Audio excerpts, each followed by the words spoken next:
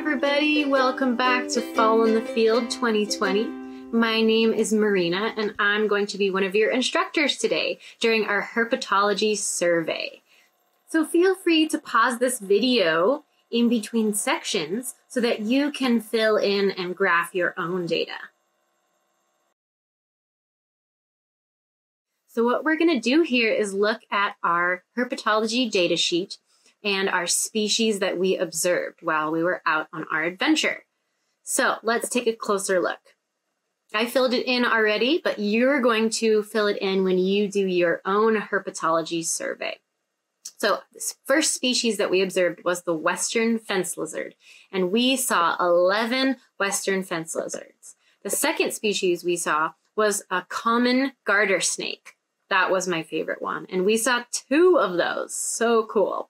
And then the third species that we saw was a small chirping frog that hopped really fast into the water. And we figured out that that is a Pacific chorus frog. And we saw three of those. Very exciting.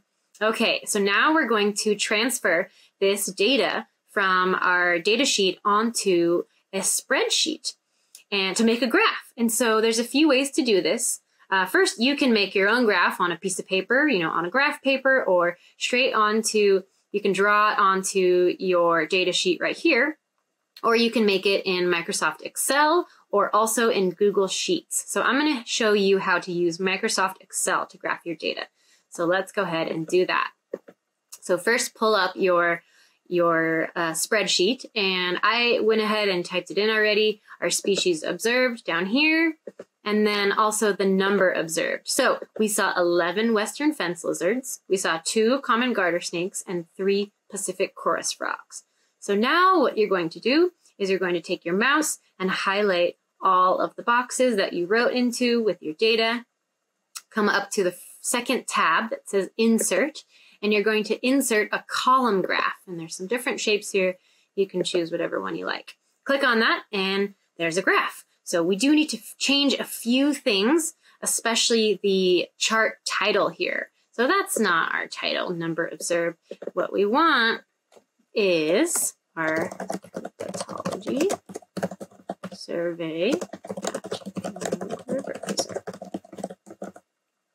Okay, and now we need some titles on our x-axis and our y-axis. So we can go over here to layout in our chart tools. We can go over to axis titles and we can do the horizontal axis first, which is our x-axis. Click on title below. And then we're going to type in species observed.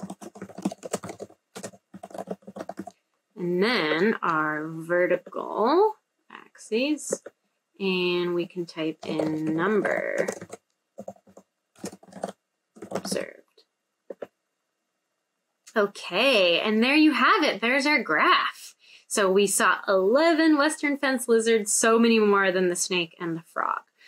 So there is our herpetology survey graph at Rogue River Preserve. Now what you can do is you can copy and paste this graph straight into your herpetology datasheet, or you can print it out separately if you want. So in our next video, we're going to talk about what this graph and this data means. So I'll meet you back in the outdoor classroom soon. Thanks for joining me.